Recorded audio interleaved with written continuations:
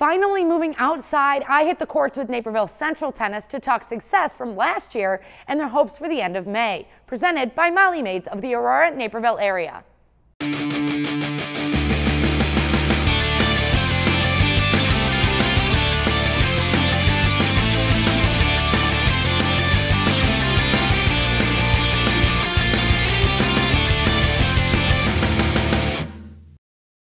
Last year, everything fell into place for the Naperville Central boys tennis team.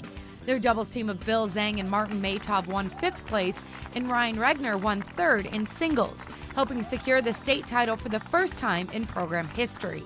And now, as 2018 season starts to ramp up, the Redhawks are sitting pretty again, seeing that they only lost one senior player to graduation. Um, obviously, we lost Bill Zhang, who was one of our um, our four-year seniors who did really well in, over his, his course at Naperville Central, but we um, we replaced him, I guess you want to say, with uh, Naveen Ramakrishnan, who's, who's a very good player. And, um, and they're just another normal team, for now, keeping their heads low and practicing day in and day out and only looking forward to... Next match. It's, uh, it's, it's I know everybody wants to win conference, win sectionals, and hopefully defend state, but honestly, I think the way we're going to be able to do that is if we just focus uh, on our next match. And so far this season, some matches haven't gone their way, but that does not concern these two senior captains.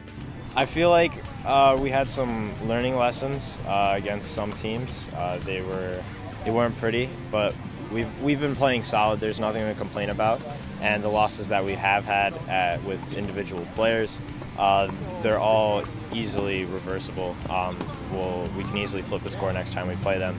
And I'm just glad that we're having those losses at the beginning of season uh, so that uh, we can flip them around at the end of season and do what we can.